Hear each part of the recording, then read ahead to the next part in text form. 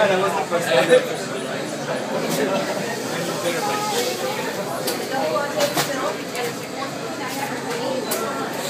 was excited to do it.